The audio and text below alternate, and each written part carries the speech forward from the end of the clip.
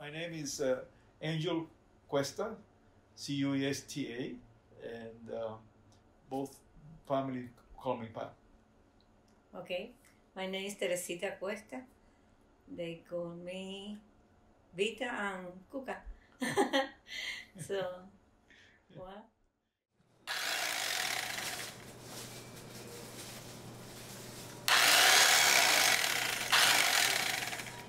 We came to the United States December 20th, 1960, uh, just a, month after we got married in Cuba.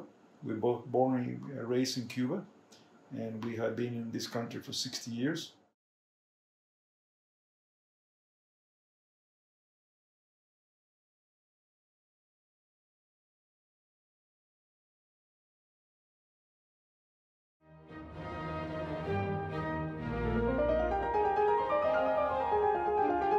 There was difficult times because the English, uh, to me, even though I studied four years uh, in high school, in Cuba we have five-year high school, but four years of, of English, um, but the pronunciation was was bad. My ears were not attuned to American English, but attuned to um, Spanish um, teachers that were talk with Spanish accent. So that's the accent that my ear were attuned to.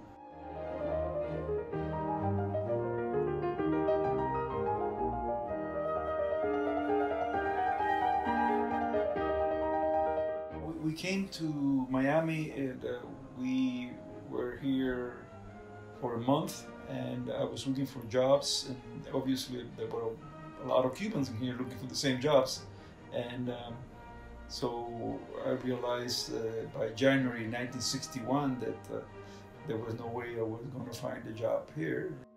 Um, my father had a job opportunity in Philadelphia uh, because he had worked with these some of these people in Cuba. They offered him a job in Philadelphia, and uh, I was uh, 20 years old at the time, and so I depended on him, and we all moved over there. My wife and I moved there.